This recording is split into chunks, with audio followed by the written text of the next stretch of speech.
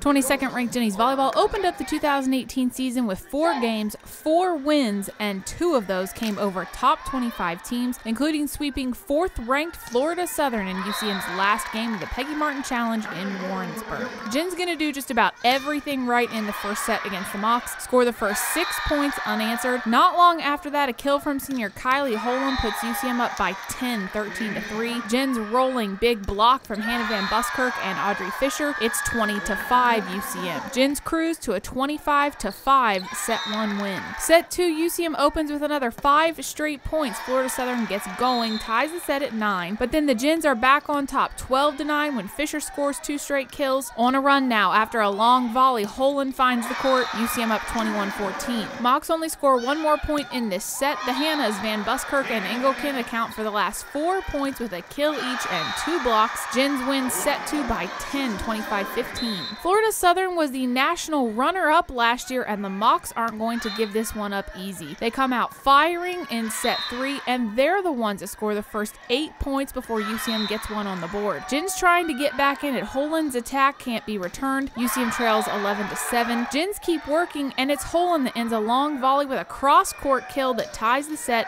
14 all. Florida Southern's response is six straight points, and the Mocs get out to a 20 to 14 lead. Down 23 16, UCM scores three straight to get within four, but the Mocs reach set point, leading 24 19. Perfect time for another run from the Jens. Six straight points. Van Buskirk ties it at 24, and Fisher puts UCM up 25 24 with a tip right to an open spot. The teams trade points, then two from the Mocs put them up 27 26. Jens will end it with three straight. A big time block, an error for the visitors, then Fisher with the final kill. An emotional set three win goes to the Jens 29 27. Number 22 Central Missouri sweeps number 4 Florida Southern 3 games to none. Opening the season 4 0 is obviously good, but it was great to see the Jens evolve as a team over the tournament. The ultimate goal was just to become a team and to win, obviously. So as the games went on, we played different types of teams and we learned how to adjust to those teams and to just play our game.